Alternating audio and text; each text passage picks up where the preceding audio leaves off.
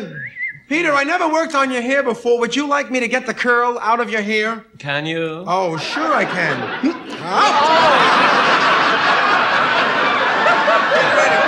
Okay, okay, let's go. Hey, good, good, yes. You know, I don't want to alarm you, but right here, your hair looks like it's getting a little thin. That's really true. You are losing some of your hair right here. It's quite all right. I have a name tag sewn on my scalp. No, I am not kidding. Your hair is very dry, Peter, and I really think you should do something about it. You do? Yes. What do you.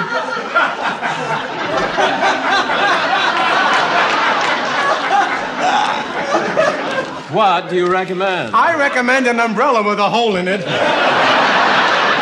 Well, I think I'd just better leave my head dry. I'm just over a cold, and I was in bed with 102. In bed with 102? Yeah. Did you go to the doctor, Peter? How else am I going to see one? Through a telescope. Yeah. My, you know, my doctor hasn't made a house call in 20 years. Even his wife is out looking for him. Oh, well, I'll tell you something. I can always find my doctor. I just reach for my wallet and there he is. Ah. He's a wonderful doctor, though, especially if you want to have a $20 bill removed. Don't you know that's what the prescription is? It's a note from the doctor to the druggist. The note says, I got mine, now you get yours.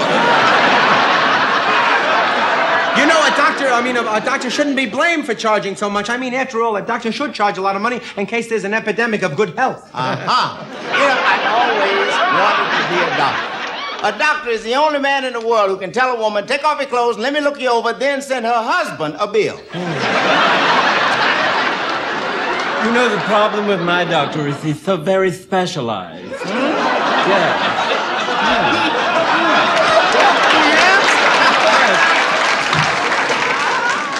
He used to be an ear, nose, and throat man. Now? But now he's just a nose man, and not even both nostrils. You mean to say he's just a right nostril man? Oh, no, just the left. I mean, if he has to examine the right, he brings in a consultant. A consultant, that's another doctor brought in to share the blame in case you die. I know one doctor who's so specialized, he treats absolutely no patients and won't see anybody at all. All he does is send out bills once a month. Really? But who does he send the bills to? Hypochondriacs who are Christian scientists. They won't see him either. I'm a little bit worried about my doctor. You see, last week he told me, go over to the window and stick your tongue out. He wanted to examine it in the light? No, he was mad with the doctor across the way. You know, I'm on a, a very new diet, and it's a very interesting diet. All you drink is tiger's milk. Tiger's milk. It's a little bit dangerous, though, because they don't like being milked, you know. You know, I just read in the papers about a guy who went on a diet, a special diet, and lost 135 pounds. now, that is really fantastic. Oh, no, no, it isn't really. He was only 130 pounds when he started. you know. That's not so good, though. Speaking of diets, you gotta be very careful. Yeah? A doctor told a friend of mine that milk, butter, eggs, and cottage cheese can be dangerous. And he was right. Last week he got run over by a dairy truck. now, Dom here is always on some weird kind of a diet. No, that's true. That is true. I, I have just come off a diet, and all I ate was artificial foods. You know what I uh-huh. mean? Synthetic foods, artificial sweeteners, artificial ice cream, artificial candy. Well, did it work? Look at that. That's all fake fat right there. oh, hi, Dean. How you doing? It's good to see you again, Dean. Hi, guys. Sit down.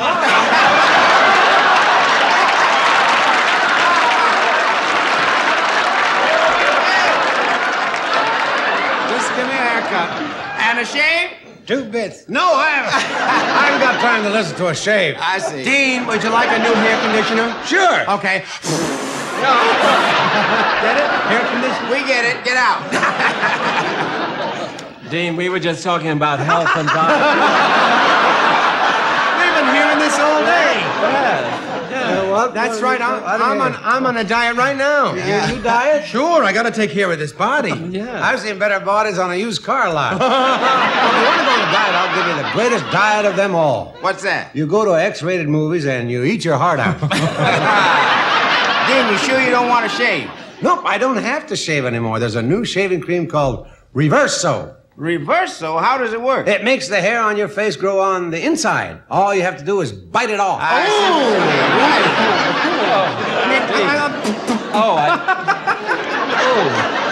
Listen. How is it you stay in such fantastic shape?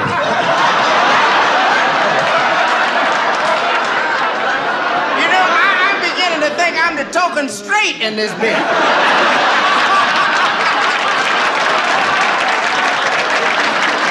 Well, I see. I see my doctor twice a year. Last time I went, he told me I had an iron deficiency. I told him, yeah, but my wood shots are getting better. you know, go, forget it. Well, you gotta take a little exercise. Really, I don't need exercise. I get all the exercise I need pallbearing for food fetish and athletes. But I did try jogging. Tried jogging and had to give it up. How come? Well, every time I broke into a trot, a police car would stop. me. I tried jogging, but I didn't like that. I, I, I kept spilling my drink, you know, while I was jogging. I don't drink while you Do you know, Dean, that thanks to jogging, more people are collapsing in perfect health than ever before? Did you read about the guy who ate nothing but vitamins? No. All his life, he ate nothing but liver capsules, liver tablets, liver pills, mm. extract of liver, and he lived till he was 106 years old. He did? Yeah, and it took three days to beat his liver to death. I'll tell you what I do. I'll tell you. know, I'll tell you what I do. What do do? I, I take vitamin E. I take it orally and I put it all over my body. It's supposed to increase. That's true. I think you.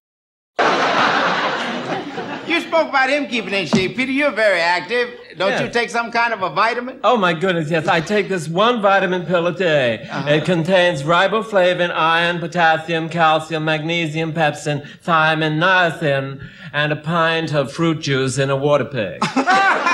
Yeah, but that's such a, an enormous pill. How do you swallow it? oh, you don't swallow it. You eat it with a knife and fork, dear. If you live right, fellas, you don't need any vitamins. My uncle was getting hard of hearing, and his doctor told him he'd have to cut out drinking, smoking, and going out with women. Well, did he? What?